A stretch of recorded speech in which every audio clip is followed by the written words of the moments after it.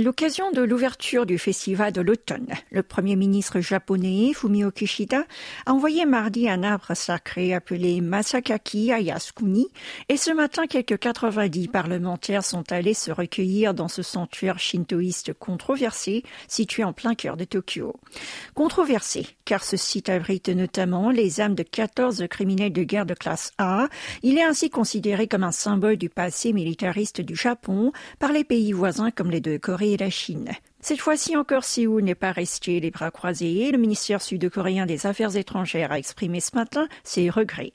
Dans un commentaire, son porte-parole a fait part de la profonde déception de la Corée du Sud à l'égard du déplacement effectué un peu plus tôt par de nombreuses personnalités politiques nippones, ainsi que des offrandes envoyées par d'autres à ce lieu saint qui glorifie le passé colonialiste du Japon.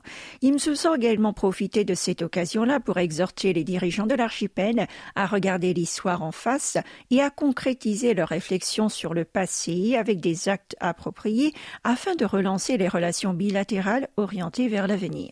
Même réaction à Pékin en qualifiant le temple en question comme symbole de militarisme de l'Empire du Soleil levant, le gouvernement chinois a vivement critiqué l'envoi de l'offrande par Kishida. Enfin, Tokyo a pour sa part indiqué que son principe de renforcer ses relations avec ses voisins sud-coréens chinois ne change pas, mais qu'il est normal de montrer sa reconnaissance envers ceux qui se sont sacrifiés pour la patrie.